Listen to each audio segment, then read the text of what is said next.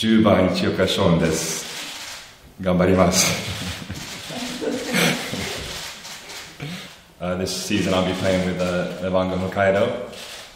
I'm very excited to be here. Um, There's a great group of guys and uh, a lot of talent and um, I'm looking forward to uh, helping them with uh, rebounding hustle, uh, physical play inside and um, just bring a lot of energy.